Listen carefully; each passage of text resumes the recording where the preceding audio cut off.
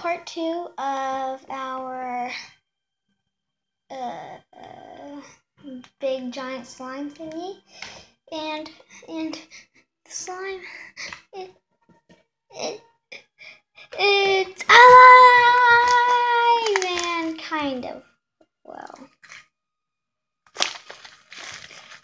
Not really sure what happened, but hopefully if we keep eating it, it'll get better. Okay, already getting better. Just started eating it, so I think we're gonna be fine.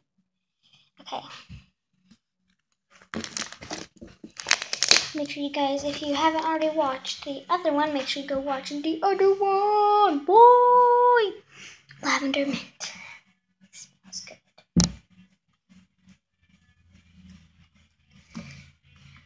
This will be called lavender mint. Literally, that's what the name will be called. And should we put a charm in? I'm gonna go with a yes. We should put a charm in to make it look extra. To make it look extraordinary. Raise your hand if